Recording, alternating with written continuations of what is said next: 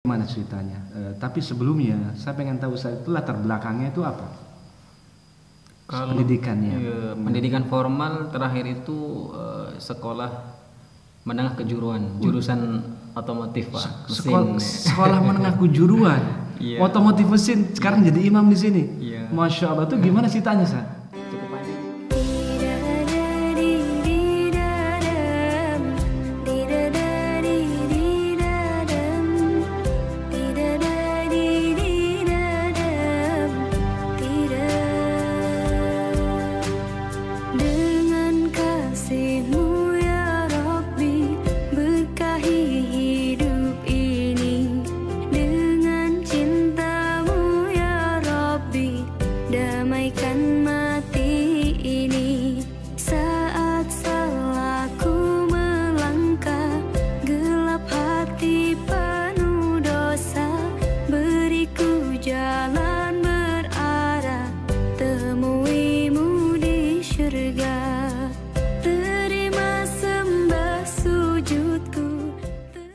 أولئك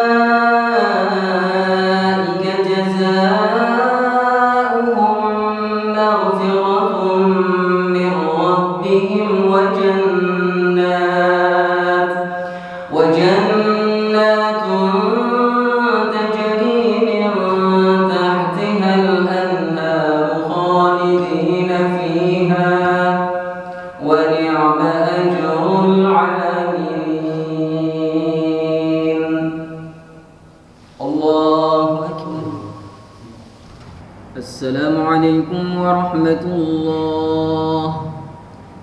السلام عليكم ورحمة الله.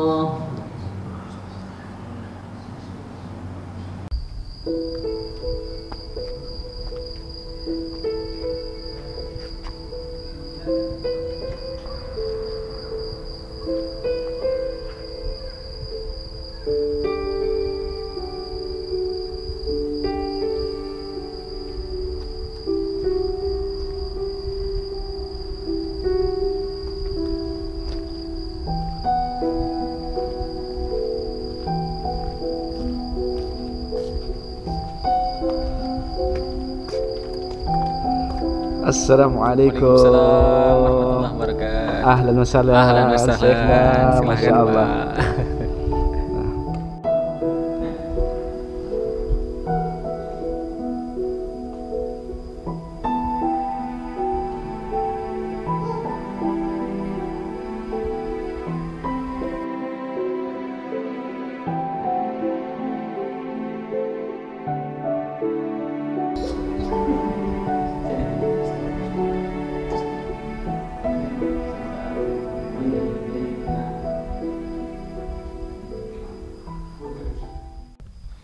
Assalamualaikum warahmatullahi wabarakatuh teman-teman semua.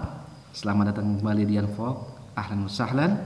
Sekarang saya ini berada di Rasul Khemah Salah satu negara eh, bagian dari United Arab Emirates. Dan sekarang saya ini berada di Masjid Bilal bin Rabah yang terletak di Rasul Khemah.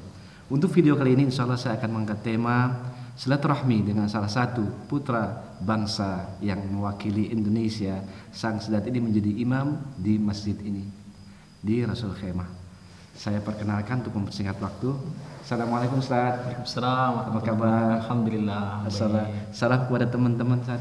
Assalamualaikum. Masya Allah. Ini saya perkenalkan uh, Ustadz yang di depan saya ini beliau kelihatan masih muda sekali. Namanya Ustadz Sani. Nama panjang siapa Ustaz? Namanya Muhammad Khairuthani Muhammad Kharuthani. Uh, dari mana Ustadz asalnya? dari eh, Boyolali, Boyolali, Jawa Tengah. Jawa Tengah. Eh, di sini eh, sudah berapa lama di eh, Masjid Rasul Khemah? Apakah ini masjid yang pertama atau sudah kedua? Eh, di masjid ini adalah masjid yang ketiga. Oh, Pak. masya Allah. Nah, masjid ketiga. Di masjid ini sekitar satu tahun, mau jalan satu tahun. Alhamdulillah. Keluarga di sini Ustaz ya. Alhamdulillah semuanya. Alhamdulillah. Eh, Ustaz saya pengen tanya eh, cerita sampai Ustaz sampai di sini. Eh, itu bagaimana ceritanya? Eh, tapi sebelumnya saya pengen tahu Ustaz itu latar belakangnya itu apa? Kalau pendidikannya. iya, pendidikan formal terakhir itu eh, sekolah menengah kejuruan, jurusan otomotif pak, Sekol- mesin. sekolah menengah kejuruan Iya. otomotif mesin sekarang jadi imam di sini Iya. masya allah tuh gimana ceritanya sa cukup panjang nih pak Oh, apa-apa ya fadal, fadal, fadal. Masalah ya, ini teman-teman harus aja. tahu ini. Saya sendiri juga kaget kok bisa. Subhanallah ya, silakan sih.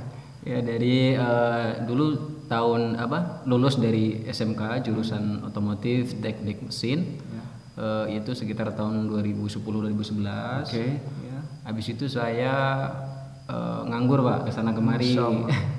Jadi kerja seadanya ya namanya ini yang penting bisa hidup gitu dari kuli bangunan kemudian sales blender Motivasi ya. tuh, kemudian dari- semuanya lah kemudian dulu juga ada ngabdi di sekolah sebagai tenaga honorer di sekolah tempat saya dulu selama kurang lebih setengah tahun habis itu saya merantau pak. Merantau ke Bengkulu. Ke Bengkulu. Bengkulu niat awal itu mau kuliah di sana karena ada abang di sana. Tapi belum sempat kuliah. Di kita kerja dahulu sebagai eh, penggiling bakso dulu pak. Tempat pembuatan bakso. Pengalamannya ya, silakan. Ya, fadal. penggiling bakso hampir sekitar satu tahun setengah. Habis itu mungkin namanya mungkin sadar atau dapat hidayah dari Allah Subhanahu Wa Taala baru memutuskan untuk ke pesantren dari Bengkulu. Saya pesantren ke provinsi Jambi di Sumatera. Di jadi saya masuk sekitar tahun 2012 masuk pesantren Itu pesantren ya. Oh, Pesantren. Itu tahun 2012. Maksudnya antum itu sudah selesai waktu waktu itu antum sudah selesai SMK. ya? udah selesai SMK Terus kembali lagi. kembali lagi belajar dari nol lagi gitu pak jadi memutuskan untuk uh, ke pesantren itu dari tahun 2012 lulus tahun 2015 Masya Allah. baru alhamdulillah terus ada bukaan di tahun 2017 mukabalah di sini dan keterima Subhanallah. Seperti Ini itu, Pak. Ceritanya eh, buat memotivasi kita semua teman-teman bahwa ketika ada kemauan itu namanya hijrah ya. Sebab gini, Ustadz Sani ini itu tadi yang seperti beliau sampaikan dari sekolah kejuruan otomotif ya. otomotif Otomotif yang tidak ada hubungannya dengan agama. Tapi subhanallah dengan berbagai eh, lika-liku eh, kehidupan yang dihadapi akhirnya beliau memutuskan pada suatu saat untuk berhijrah istilahnya ya. Berhijrah. Sampai akhirnya masuk pesantren subhanallah. Dan saat ini sudah berada di sini. Allah maha besar. Jadi eh, itulah keinginan dari beliau yang jadi pengalamannya itu seru sekali Ustaz ya. Lumayan pak. Dari apa jadi sales apa tadi? Pertama kita kuli bangunan kuli dulu. bangunan masya Allah. Sekitar dulu sekitar tiga bulan pak. Jadi menunggu ijazah turun itu kita kerja kuli bangunan dulu selama tiga bulan kemudian baru menjadi sales blender. blender. Oven segala macam kita sudah sales semuanya di, di, di, diarungi ya. Sehingga hingga pada sampai pada akhirnya antum berada di masjid ini. Eh, ini bagus sekali buat motivasi kita semuanya. Eh, terus Ustadz eh, kira-kira apa eh, suka dukanya eh, Ustadz menjadi imam di masjid ini suka dukanya yang pertama eh, memang kita rasa kangen ya sama keluarga gitu pak ya.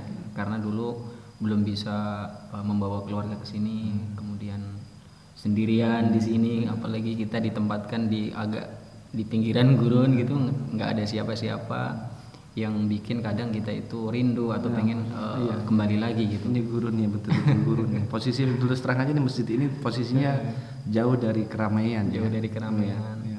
Tapi dengan eh, taufik insya Allah dan taufik dari Allah di betah-betahin akhirnya dapat bisa betah sampai Iya. sampai capek dulu, sakit dulu, pada Iya. akhirnya antum bisa kumpul keluarga dengan anak juga, semuanya jadi hilang capek. Semuanya jadi hilang Itu semua adalah eh, hadiah dari Allah. Jadi buahnya itu baru dirasakan pada akhirnya. Iya alhamdulillah Ustaz mungkin ada pesan buat teman-teman di Indonesia ya. Eh, kepada teman-teman Iya. semuanya